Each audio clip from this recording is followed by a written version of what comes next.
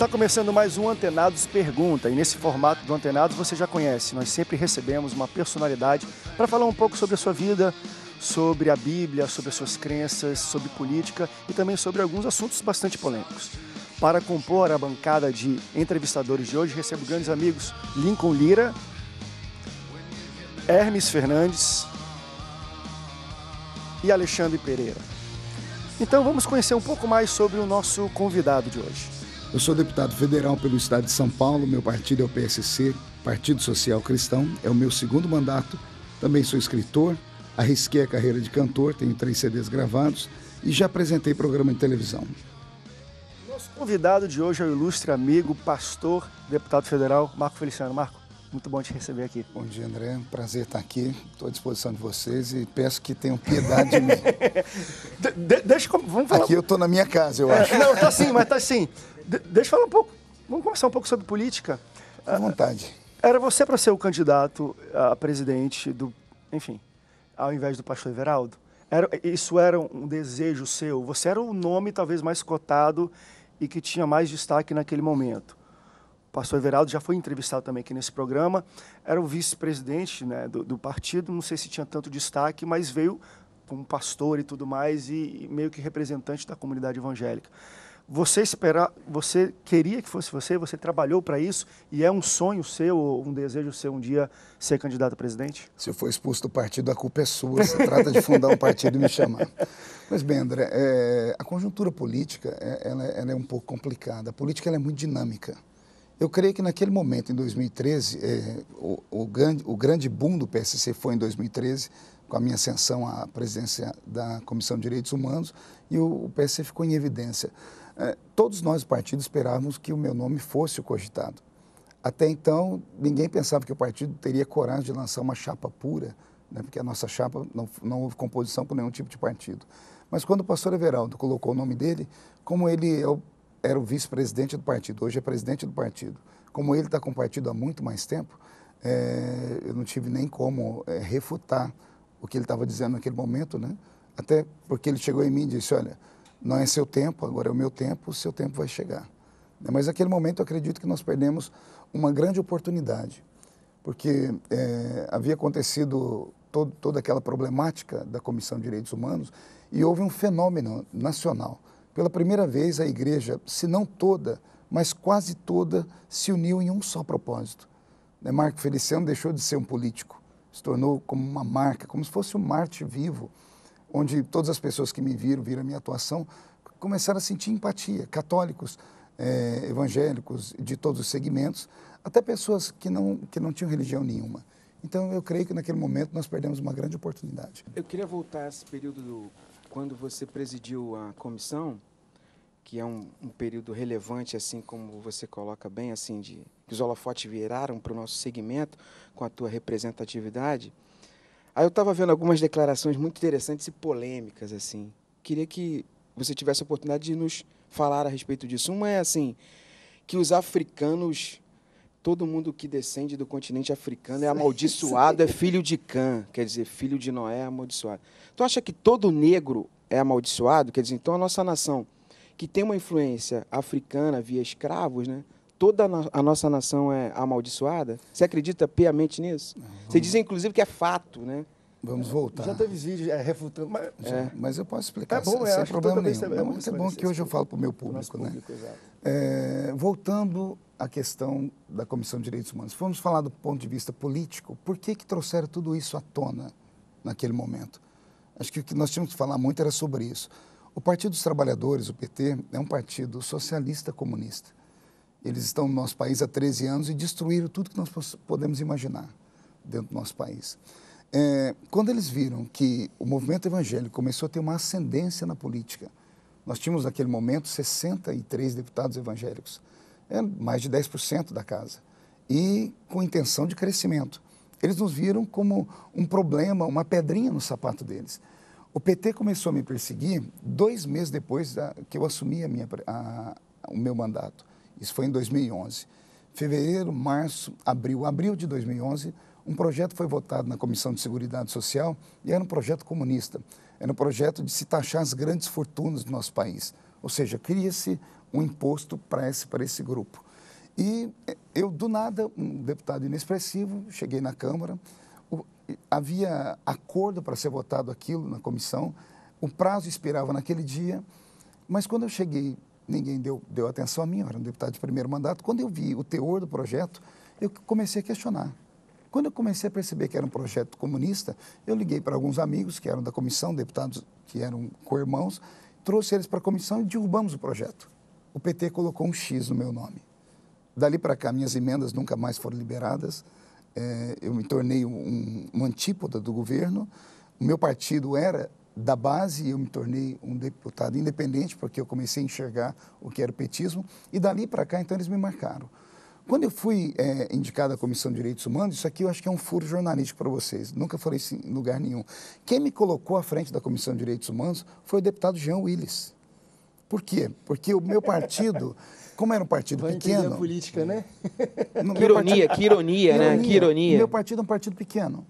Como sendo um partido pequeno, nós temos comissões. É, a casa não funciona só com o plenário grande, no plenário Ulisses Guimarães. Nós temos 22 comissões permanentes, comissões especiais, subcomissões, etc.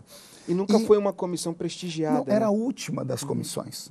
Ou seja, o menor partido ficava com ela. Uhum. Só que, como era uma comissão fundada pelo PT, Direitos Humanos, era aquela. É, é, é como se fosse a bandeira do esquerdismo, né? O PT sempre ficou à frente da comissão por 20 anos. Naquele momento político, não era interessante para o PT aquela, aquela comissão, eles estavam interessados na CCJ, que é a principal comissão da casa, e eles abandonaram aquela comissão e acabou ficando para o partido menor da casa, que tinha, não era o menor da casa, mas o menor com o número de deputados que daria com condições direito a presidir de ter. comissão. Exato. E a Comissão de Direitos Humanos foi ventilada para o PSC.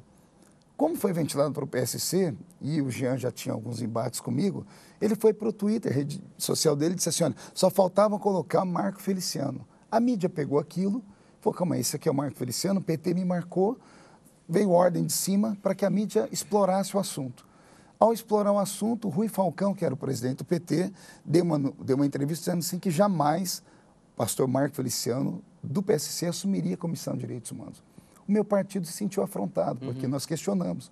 Sentamos na mesa com o pastor Everaldo e disse, pastor, nós somos da base do governo, mas o governo, a esse ponto de mandar na gente, o partido não tem liberdade para indicar quem quer que seja, o nome não era o meu, porque eu era deputado de primeiro mandato. Nós tínhamos deputados de três, quatro, cinco mandatos.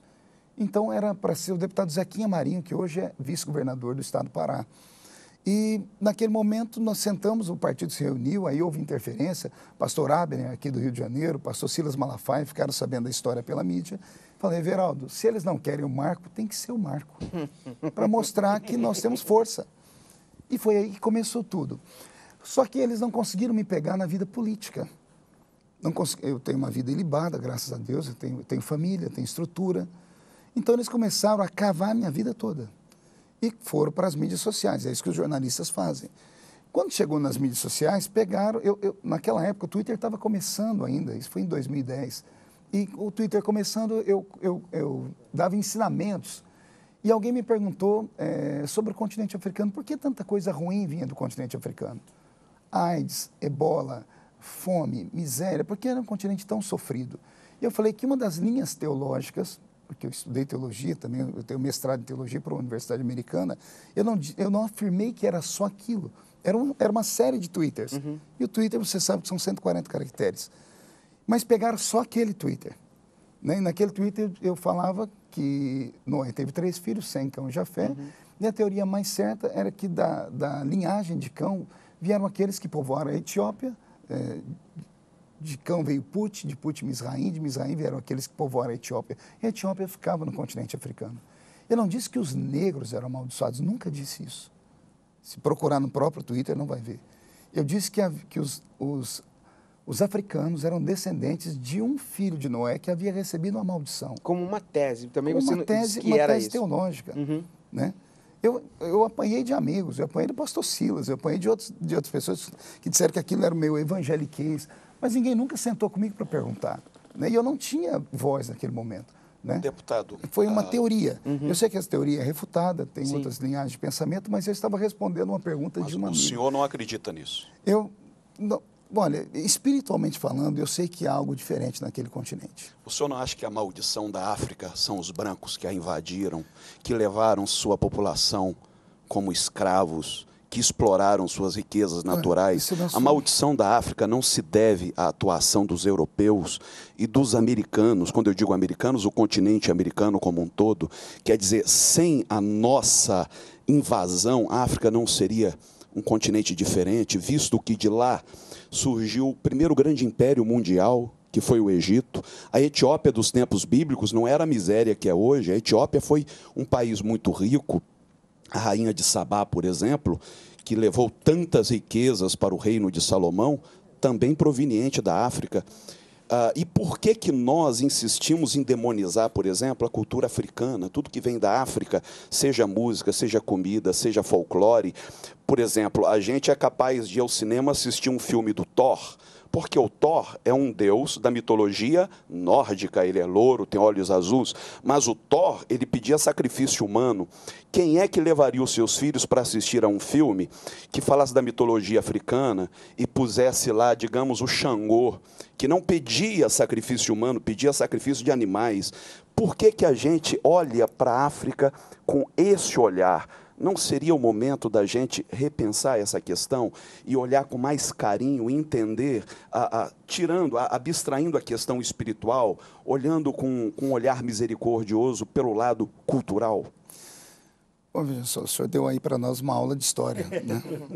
Foi muito bem-vindo à aula de história. O senhor citou um fato interessante. Nós estamos falando aqui. Você, eles perguntam, o, o, o, meu, Lincoln, o Lincoln perguntou para mim o que eu acho. Né? Eu penso que existe algo estranho sobre aquele continente. Eu não tenho uma resposta é, concreta. Tudo que eu tenho é abstração intelectual. O senhor citou, por exemplo, o Egito. E o Egito escravizou o povo do Senhor por 430 anos. Então tem todo, tem, tem todo um complexo. Eu sei que existe algo naquele continente, aquele continente precisa da misericórdia do Senhor, como precisa do amor de todos nós. Tanto é que a igreja cristã fez um dos maiores trabalhos de evangelismo lá. Só que também o cristianismo da Idade Média cometeu muitos crimes contra os próprios africanos. A própria Igreja Católica chegou a afirmar no, no Brasil que os negros não tinham alma, por isso que não precisavam ser. E negros é, nem índios, né? Eles não, não precisavam ser é, catequizados. Então, existe uma problemática assim. Né? A gente vai para o intervalinho rapidinho, tá vendo que tá aquecido o negócio. A chapa já começou Fomos quente. de Brasília para África. É, né? rapaz. Mas a gente, a gente volta no próximo bloco com mais Antenados Pergunta e com o deputado federal Marco Feliciano. Aguarde, a gente já volta.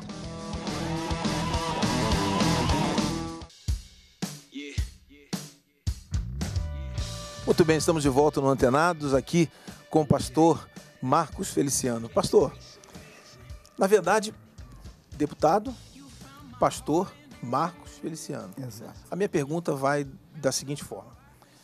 Você começou como um pregador, pastor, pregador, avivalista. É, foi, não sei se ainda é, né, me ajude, por favor, uma unanimidade dentro do meio pentecostal. É. Hoje, é. hoje pregadores. É, na vida política, não tem é, talvez tanta, é, tant, tanto tempo para suas ministrações como você fazia antes. E a sua vida política, então, você precisa é, dar uma certa atenção para ela. Sofre todos os ataques que todo mundo que vai para a vida política sabe que vai sofrer, porque vai ter que tomar, escolher um lado. Sua vida política vai até onde? Aonde você espera chegar? E se ela parar, você acha que vai ter volta para essa unanimidade no meio pentecostal? Bom, pastor, sua pergunta é muito pertinente. Né? É, eu acho que eu, eu consegui abrir um espaço que nunca antes houve no meio evangélico e na política. Eu não parei de pregar até hoje. Eu prego quinta, sexta, sábado e domingo. Segunda-feira descanso com a família. Terça, quarta e quinta de manhã estou em Brasília. Eu faço essa maratona há seis anos. E fiz isso com um propósito de mostrar para o Brasil que é possível você ser um pastor e ser um político porque as experiências que nós tivemos no meio político foram horríveis, até antes da minha chegada em Brasília. O escândalo da, do sanguessuga, das ambulâncias, se deu com a bancada evangélica toda. Tanto é que naquela época, em 2006, nós tínhamos 53 deputados evangélicos, Na eleição seguinte caiu para 22. A igreja puniu os, os, deputados que foram lançados na, naquela questão da, da, da, do sanguessuga. E detalhe, só um foi condenado e não era evangélico. Né? Ou seja, muita especulação pela mídia. Aquilo parece que foi um golpe sobre a bancada evangélica dado pelo Gabeira, que é um político aqui do Rio de Janeiro, se não me falo memória. Né? É, é daqui do Rio. Então, existe toda uma trama em Brasília contra o movimento evangélico há tempos. Então, quando eu cheguei, é, até antes da minha ida, os grandes nomes que nós tivemos que foram para a política parece que deixaram de lado o seu ministério, porque de fato não é fácil. Não é fácil você atuar em Brasília e continuar atuando como pregador. Né? Mas como eu prego desde criança, eu prego desde os 13 anos, hoje eu estou com 43, são 30 anos de púlpito. Eu me destaquei no meio pentecostal, porque eu sou pentecostal, né? e não me envergonho disso. Aliás, acho que eu não seria nada se não fosse isso. E eu continuei pregando mesmo estando em Brasília. É, como eu disse, cansa muito, porque o tempo que eu dou para a família é curto, é, mas eu dou qualidade de tempo e continuo fazendo a minha história. Eu estou deputado, mas eu sou pastor. Uhum. Eu posso amanhã não estar deputado mais, mas pastor, eu acho que eu, eu jamais vou perder isso, até porque pastor não é profissão, é uma vocação divina e é um dom que o Senhor dá sem arrependimento. Eu creio piamente nisso. Se eu parasse a política hoje, continuaria pregando. Comigo aconteceu o inverso do que aconteceu com os outros. Comigo, a política me deu um upgrade, porque as agendas cresceram, outros ministérios me levam, porque não querem levar apenas o pastor, hoje leva uma autoridade, e eu chego com autoridade e milito nas duas áreas, falo da Bíblia e falo de política. Né? Tanto é que em 2014, a bandeira que foi usada por 90% dos candidatos a deputado federal, estadual e até por presidente da República foi a bandeira da família. Uma bandeira que ninguém levantava em Brasília uma bandeira que eu comecei a levantar em 2013, ah, dos deputados, nós elegemos agora 94 deputados. E todos eles, quando chegaram em Brasília, 90% dos evangélicos disseram: Você teve uma participação muito grande na minha vinda para cá, porque você provou que é possível ser pastor e ser evangélico. Espero ter, ser pastor e ser político, espero ter respondido a sua pergunta. Ah, minha pretensão como político? Como político, eu sonho alto. Eu sonho um dia governar esse país Deixa, deixa eu entrar então em cima disso, duas perguntas, uma atrás da outra. Primeiro, só voltando àquela questão que todos esperavam que você fosse o candidato na eleição presidencial, e foi o pastor Everaldo.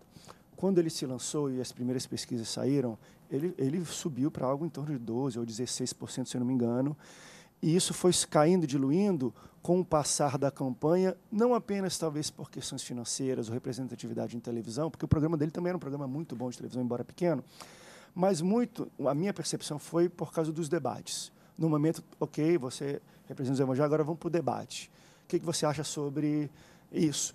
E as pessoas achavam muito vagas ou vãs, as, embora uma pessoa brilhante, nós sabemos, muito inteligente da, na vida política, mas um debate presidencial não é algo simples, não. Você tem que ter dados, você tem que ter números, tem que ser certo, tem que ter autoridade, não pode gaguejar, porque o pessoal percebe isso. E muito se deu, pelo que eu vi em pesquisas, assim, é, essa, essa queda que acabou com menos de 1% nas urnas, de fato, um pouco com essa apresentação muito vaga nas, nos debates presidenciais. Você, se fosse colocado naquele sentido, como é que você se sentiria num debate, imagino, imaginando sendo um, talvez um, um político novo, de carreira nova, iniciando agora, num debate presidencial onde todo mundo vive daquilo, sabe o número na cabeça, embora você é uma pessoa muito eloquente, decora tudo, mas você teria dificuldade nos debates presidenciais? Você acha que você poderia representar bem esse sentido? E a segunda pergunta, eu sei que é longa. É difícil ser um executivo evangélico, porque legislativo é uma coisa, você representa quem te deu voto, embora você. A casa legislativa ela é desenhada dessa maneira. Cada um representa quem me colocou aqui. Um executivo não. Se o cara governador, prefeito do Rio de Janeiro, tem que, entregar, ele tem que entregar a chave para o Rei Momo, ele tem que pagar a, a, a, o, carnaval. o, carnaval. ele tem que dar a marcha gay, a marcha da gay, marcha da maconha, ele tem que dar dinheiro, tem que dar palanque, tem que dar palco, tem que dar som.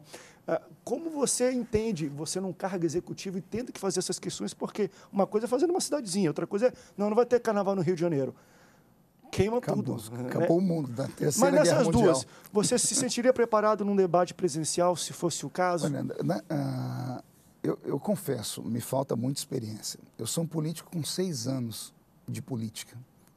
Seis anos atrás eu era somente pastor.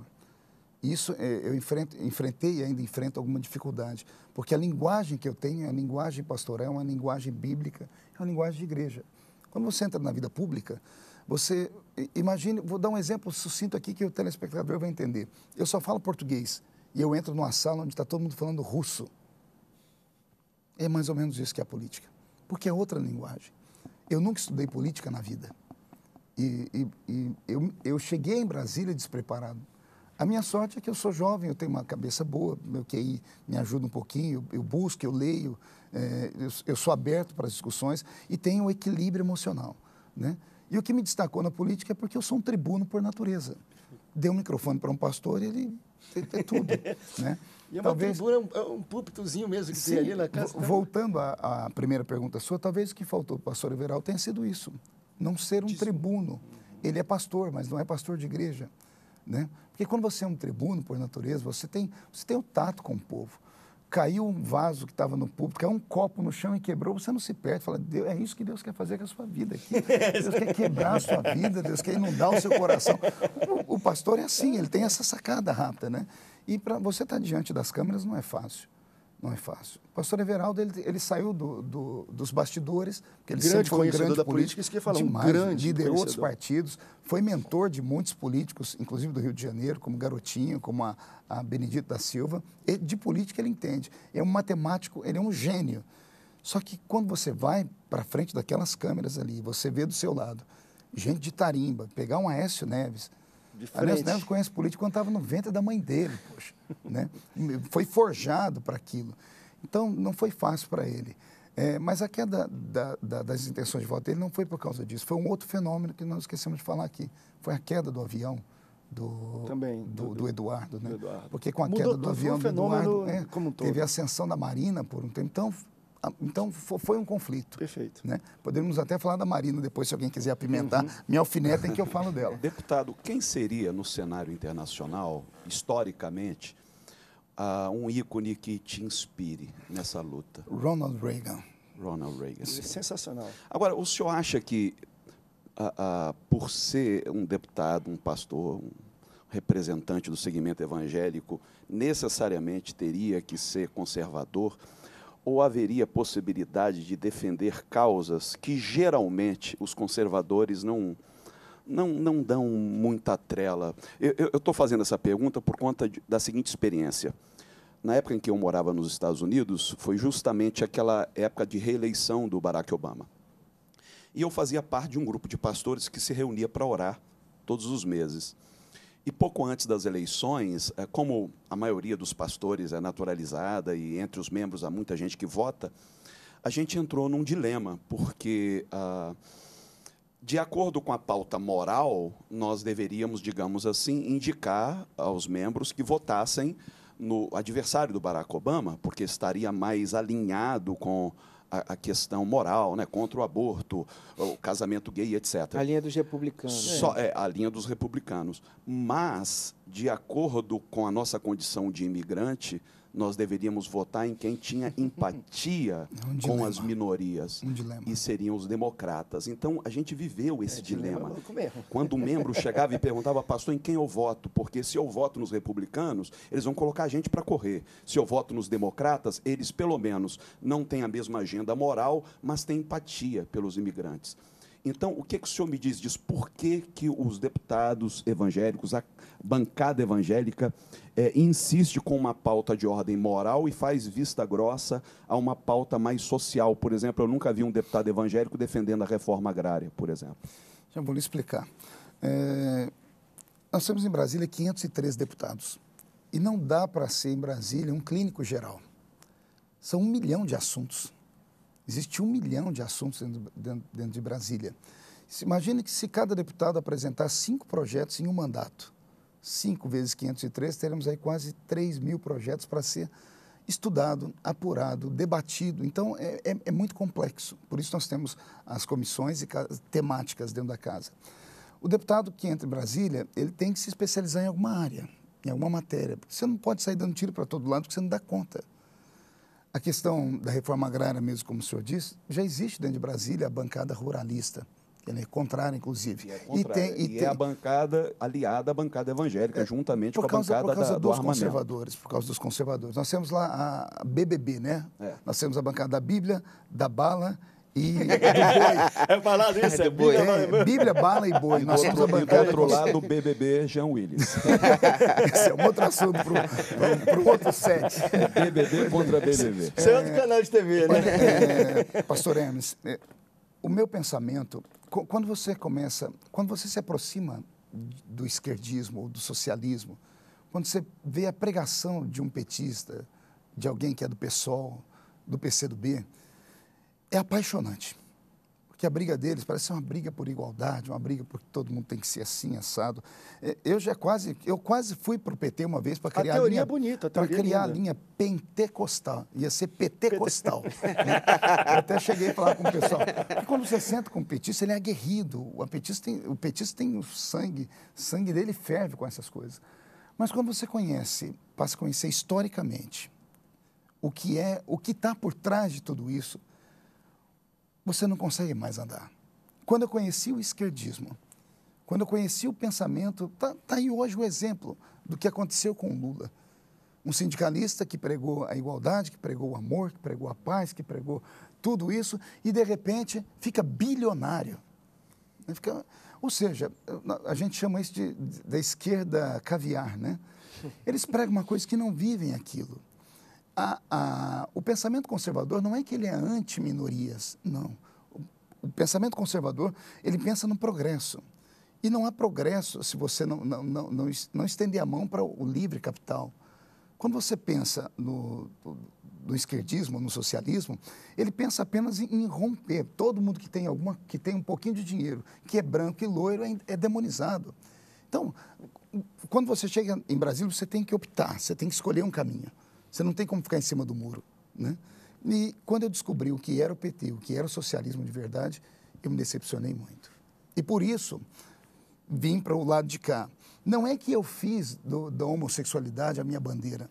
Acabaram me elegendo, a mídia me elegeu a isso. Não é que eu fiz do aborto a minha bandeira. É que isso faz parte das minhas convicções. E se eu estou ali, e eu fui ali, E foi eleito por um povo... quase, né? Não, eu, eu cheguei em Brasília no meu primeiro mandato com 212 mil votos. No segundo, 400 mil votos. Quem me mandou para Brasília foi meu povo. E, eu, e essa é a beleza da democracia.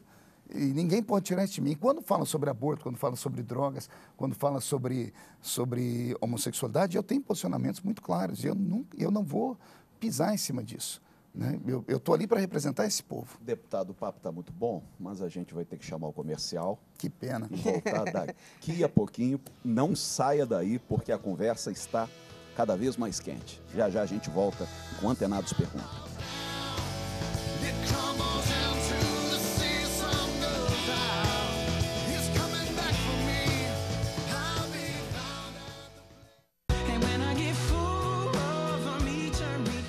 Estamos de volta com Atenados Pergunta, nosso convidado de hoje, deputado federal, pastor Marco Feliciano. É, tem um gancho na pergunta do André, nessa coisa de de estar no executivo, né? Uma coisa é estar no legislativo, você falou, pega uma, uma fatia daquilo. Representa o meu povo. É, não, e executivo. uma, uma tendência, né? Uma, uma pauta moralista, como, como o Hermes colocou muito bem, que a gente gosta muito dessas pautas. Eu prefiro chamar conservadora. É, é, conservadora. Mas que tem assuntos muito de, de moral, né? Relativos à moral. A gente, às vezes, fica estereotipado pela sociedade por causa disso.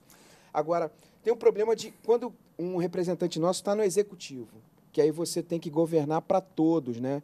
E aí você não pode ser só de um assunto, só de uma tendência, né?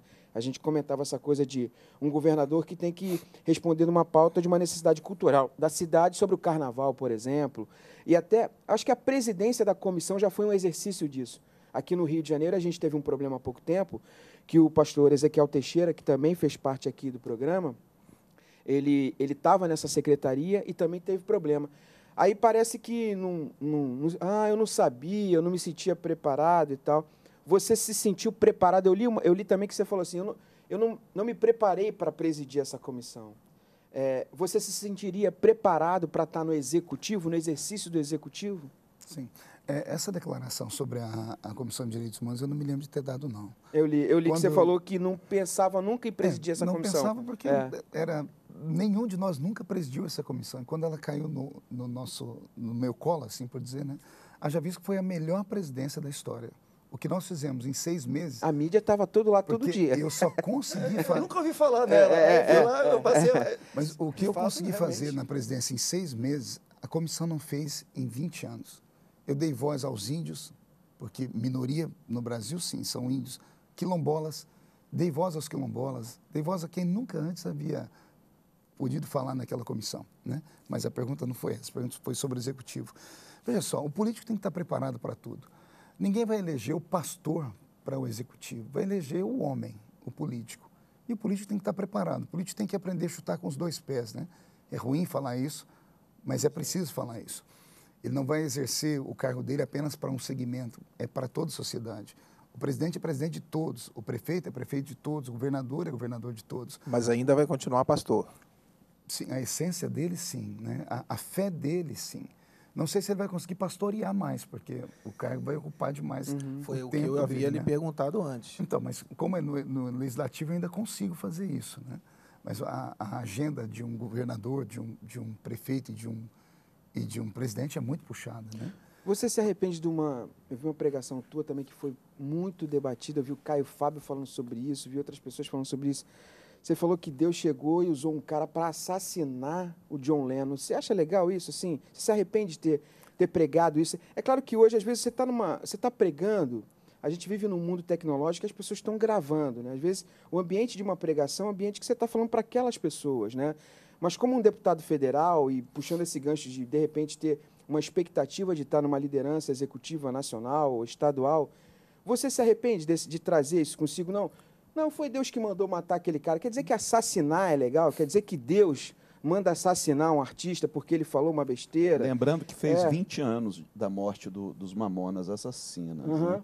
E, e dentro da sua fala, você se referia tanto ao John também. Lennon É. quanto Quanto eles. ao grupo Mamonas Assassinas. Aí a gente fica num lugar, nós como evangélicos, vinha muito esse jargão, não me sinto representado, né? não sou representado pelo Marco Feliciano, vinha O esses... Marco Feliciano não me representa. não me representa e tal. Será que você se arrepende, por exemplo, de ter falado isso? Você, você- você ainda tem essa fala? Não, acho que foi, acho que Deus moveu aquele cara para assassinar. Tá preso, cara. Quer dizer, será que Deus se alegrou do cara pegar e assassinar uma pessoa? Você não mandou assim, né? Viu você falando assim? Eu tentando- É, não, eu falei assim, eu três. tô respirando aqui é, para saber como responder.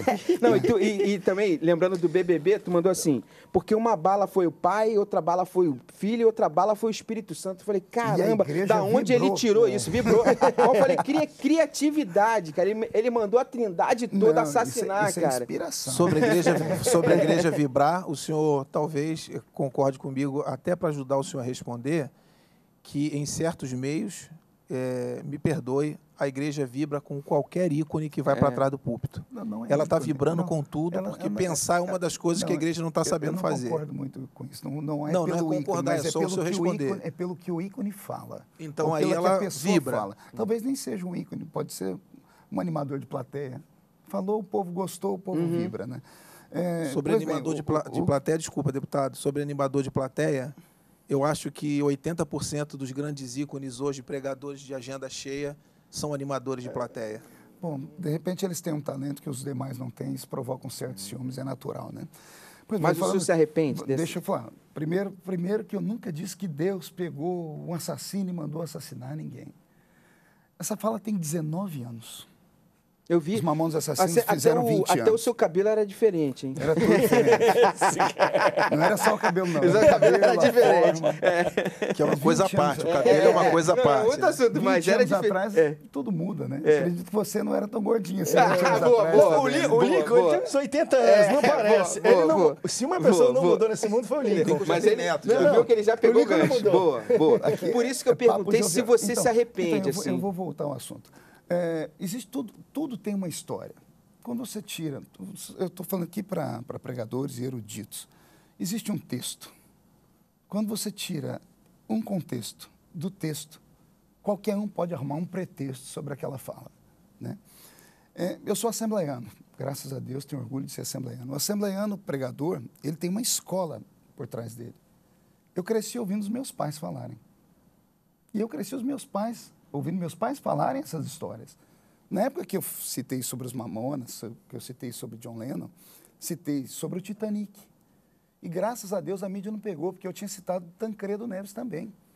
Eram frases que os nossos pais na fé usavam no púlpito. E diziam, Tancredo Neves disse que se ele tivesse o apoio da arena, nem Deus fazia ele perder a eleição. Aí os nossos pais iam para o púlpito, tá vendo? Ele ganhou a eleição, mas não assumiu. Titanic, o, o- o fundador, o criador do Titanic, disse: nem Deus afunda o barco. Eu peguei, eh, eu peguei essas frases dos meus professores de teologia. Tem livros escritos sobre isso.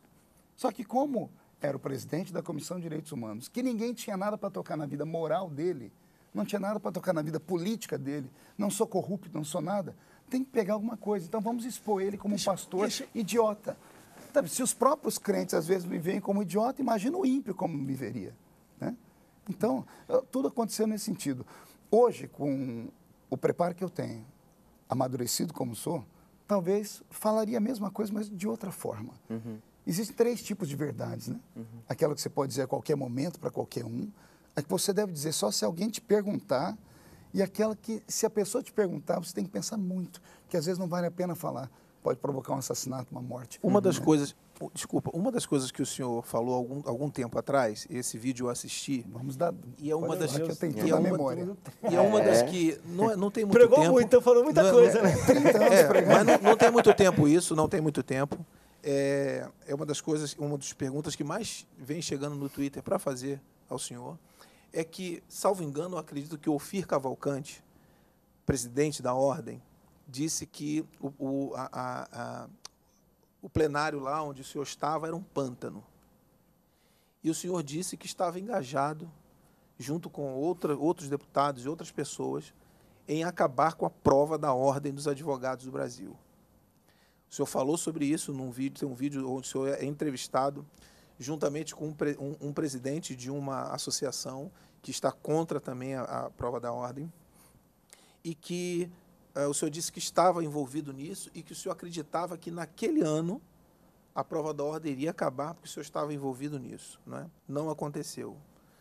Ah, o senhor abandonou o projeto, o senhor acredita que a prova da ordem tem que acabar, e o, que, o senhor acredita que o que o Ofir Cavalcante disse é verdade, ou o senhor só se envolveu nisso porque o Ofir Cavalcante disse que o nosso parlamento era um pântano?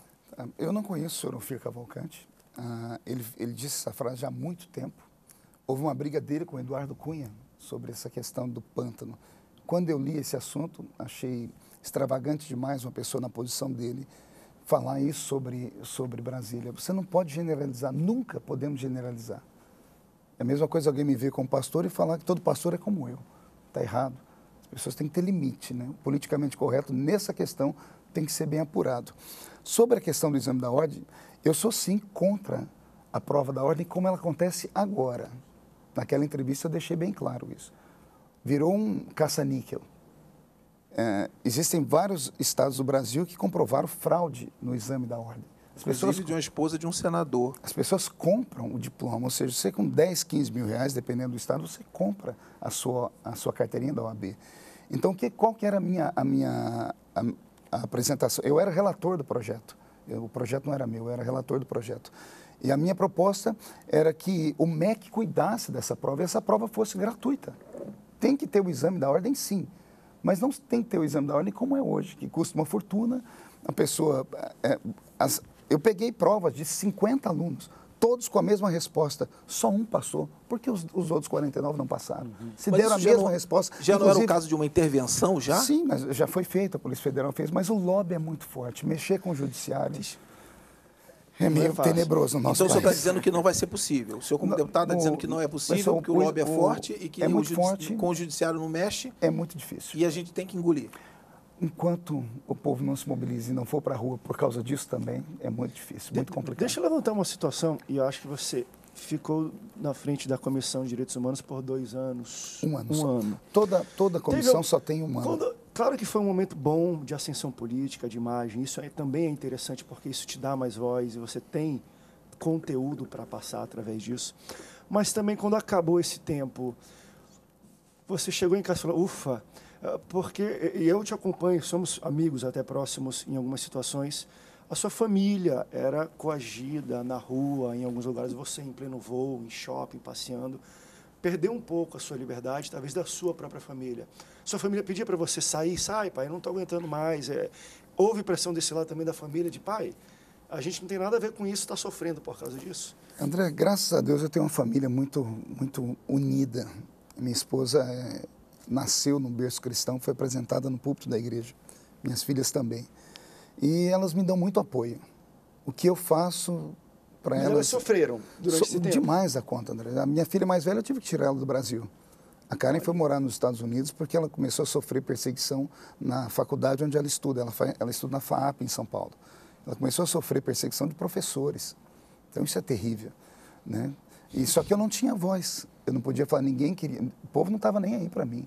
Ou seja, qualquer os jornalistas estavam contra mim, a imprensa estava contra mim. A imprensa faz a cabeça do povo. Eu, eu lembro até, corroborando o que você está falando, de alguns pastores em conversa, você já foi pregar. Até em Belém, uma vez, quando você foi pregar, foi tirada uma foto na igreja, no centenário, de duas mulheres beijando Sim. e você ao fundo.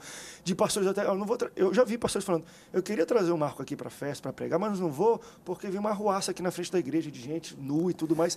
Até nisso você sofreu um pouco, né? Essa semana ainda um pastor. Qual foi a pior coisa que É, Eu vi, eu, Essa- vi, um- essa eu vi um semana- fato que você estava no carro, sua família estava no carro e as pessoas batendo no carro, querendo afrontar o Essa carro. do carro foi terrível, porque eles tiraram a roupa. Minhas filhas estavam dentro do carro, as duas menores. Na época, uma tinha 10, a outra tinha 11. Eles fregaram os órgãos genitais dele no, no carro. É isso. horrível. Ah, Esse pessoal, eles são radicais demais, né? Para mim, não são nem manifestantes. São, da- daí criou-se, eu, consegui- eu separei os homossexuais dos ativistas gays. né? O ativista gay é, é um problema sério, porque ele recebe para aquilo, né? Então, mas é, vocês fizeram tantas perguntas que deixa eu tentar equilibrar aqui. Então, sofremos muito. As duas, as minhas filhas pequenas tiveram tratamento psicológico por um ano, acompanhamento psicológico. A minha esposa, ela contraiu uma doença psicossomática. Foram dois anos à base de Rivotril e com psiquiatra, aí. porque a pressão foi grande. E eu, quando saí da Comissão de Direitos Humanos, saí em, de- em dezembro, janeiro, fevereiro, em março eu tive um surto. Eu tive um começo de, de síndrome do pânico e quase caí em depressão profunda. Aí fui aos médicos, os médicos disseram, você suportou uma pressão que raramente alguém conseguiria suportar. Porque a minha posição era sempre de, de equilíbrio, temperança. Quem viu o homem no púlpito pregar aquela veemência, me via nas entrevistas. Eu sempre acuado porque eu sabia o que eu representava. Deputado, Ali não era. Desculpa, só É porque só, eu preciso- Só, eu- assim, só, conclu- só Pode concluir esse terminar? pensamento. É, naquele momento, o que, que eu pensava comigo? Não era, não era o deputado que estava ali. Era, o represento, era um dos representantes do cristianismo no Brasil, da, da fé evangélica. E to- eles, toda a imprensa, os ativistas ficavam me apertando para que eu reagisse, para que eu escorregasse, para que eu falasse um palavrão, para que eu saísse no braço. Isso seria pior do que tudo. Então eu, eu me introverti, guardei dentro de mim e a hora que explodiu foi, foi horrível. ok, deputado, é para chamar o nosso break. Você está aí, está muito bom, mas o Antenado volta já já com o deputado pastor Marcos Feliciano. Agora.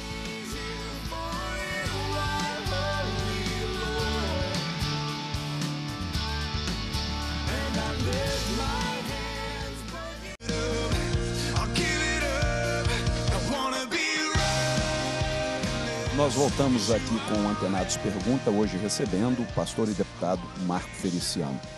O senhor me respondeu agora há pouco que um dos ícones que te inspiram no cenário internacional seria Ronald Reagan, que foi um ícone do conservadorismo e que defendia que quanto menos Estado, melhor.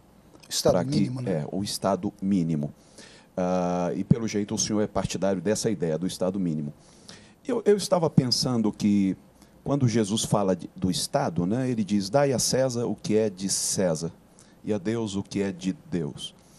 Mas quando ele fala do capital, ele institui o capital como sendo o arqui-inimigo do reino de Deus, porque ele diz que não se pode servir a dois senhores, ou você serve a Deus ou você serve a Mamon.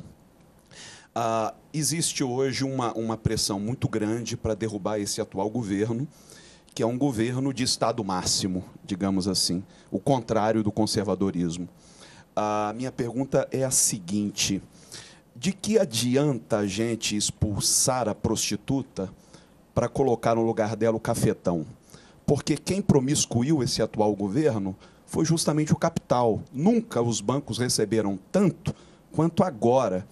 Então, não estaria na hora de nós, povo cristão, nos mobilizar e pensar numa outra via que não fosse nem a do estado máximo e nem a do estado mínimo? Uma coisa, digamos, mais balanceada, mais equilibrada, deputado? Um governo de centro. Esse é o sonho de todo de, de todos os governantes do mundo, né?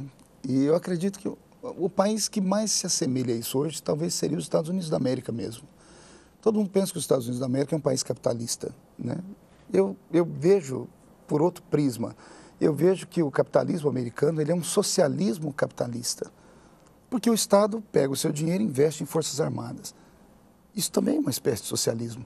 Porque o Estado vive da arrecadação do povo e distribui para o próprio povo. O socialismo é isso.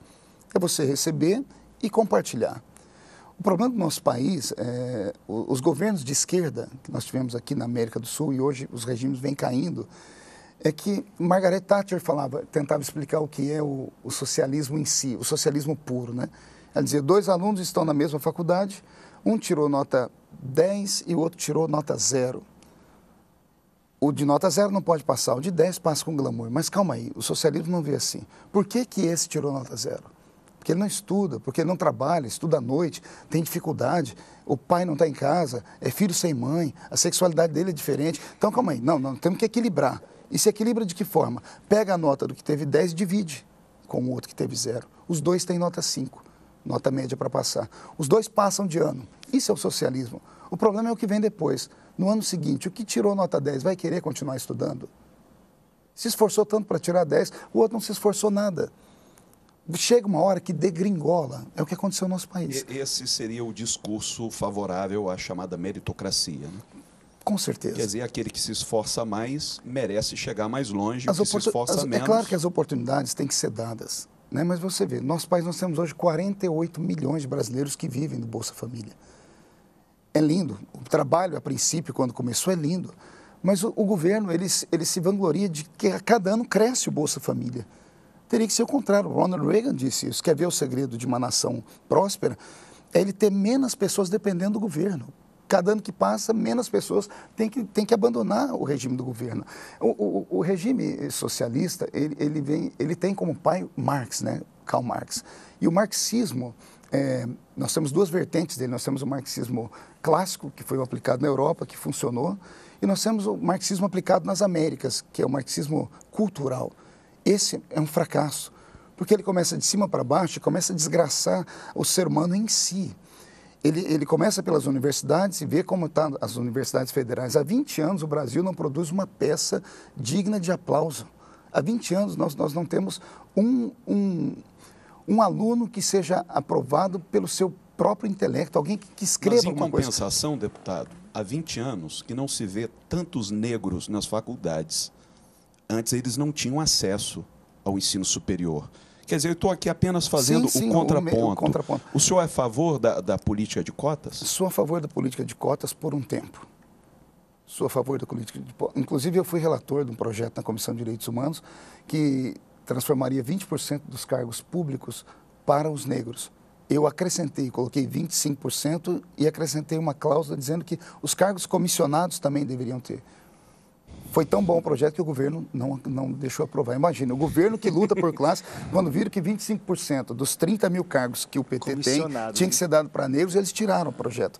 Então, é muita, é, é- é muita demagogia. O que está acontecendo em Brasília? Para nós que estamos assistindo, há pouco tempo atrás, o ex-presidente foi levado a depor coercivamente.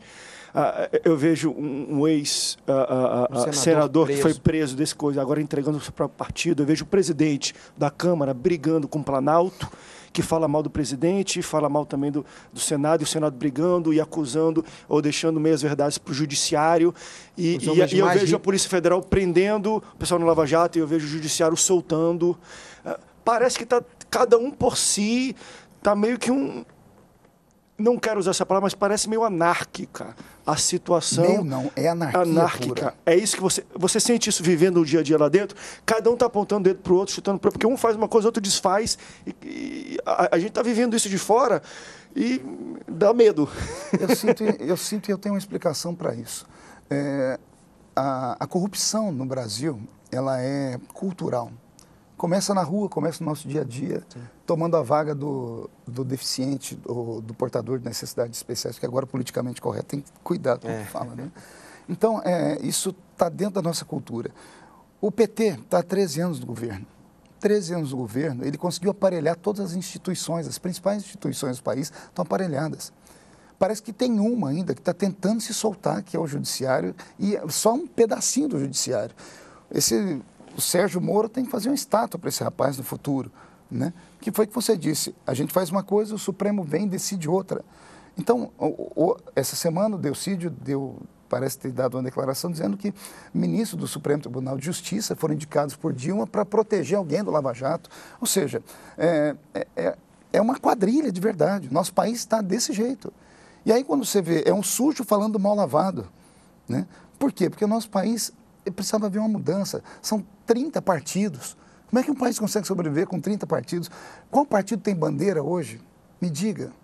Acho que se, o meu ainda tem lá, fala de família. Tirando o PSC, os outros partidos, que bandeira tem? Então, nós vivemos hoje uma situação caótica. Se tirarmos o PT hoje do governo, que é o meu sonho, e o sonho acho que de todos os brasileiros, talvez conseguimos colocar um ponto final nesse ciclo. Quanto tempo vai para consertar isso? Uns 30 anos. Meu Deus. O que aconteceu no país, isso é, é- isso é dados, são cientistas políticos, disseram que todo o estrago feito, tanto cultural, em todas as áreas, leva-se 30 anos para consertar isso. Chegamos ao final. O senhor pode ter 30 segundos para falar alguma coisa? pra 30 quem? Em segundos? casa, uma mensagem. Meu nome é Enéas. Pastor Pentecostal fala rápido. é o tempo que você tem, mais ou menos. Você não tem tanto É tempo para falar. Já vou treinando. Talvez um dia que for alguma questão maior, eu não sei se o seu partido vai ter tanto tempo na televisão. Com Tá em 30 certeza. segundos, já dá para Tá, praticar. Humilhou meu partido, meu partido é peixinho. Um dia nós vamos ser um, um tubarãozinho branco. É. André, eu quero te agradecer por essa oportunidade. Você já havia me feito convite várias vezes, eu quase não tenho tempo, mas aprove a Deus essa oportunidade. Muito obrigado. Obrigado pelo carinho com que os debatedores estiveram aqui comigo, pegaram leve, né? Estou saindo daqui inteiro, né? Espero ter respondido as perguntas à altura. Se não, me ponho à disposição para voltar aqui num outro programa e estamos juntos. Sonhe com um país melhor. Obrigado, pastor. Obrigado pela sua audiência. Deus te abençoe. Até o próximo Antenados Pergunta. Tchau, tchau.